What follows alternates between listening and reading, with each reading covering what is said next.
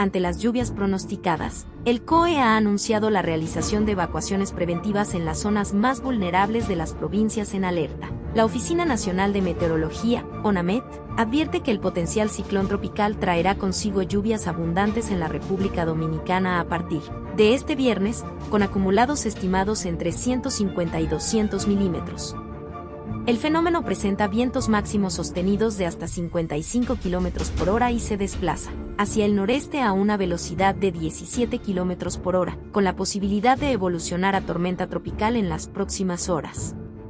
Como medida de precaución, el Ministerio de Salud ha activado el Plan de Respuesta Rápida, que incluye un adecuado control de vectores, vigilancia epidemiológica y disponibilidad de suministros médicos y equipos para garantizar la salud pública durante el paso del fenómeno meteorológico.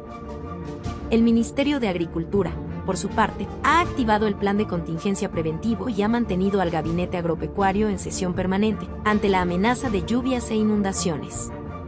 se ha instado a los productores y ganaderos a seguir las medidas preventivas y las instrucciones de las autoridades, reforzar las estructuras en sus fincas y proteger el ganado para evitar posibles pérdidas, como ahogamientos, entre otros riesgos.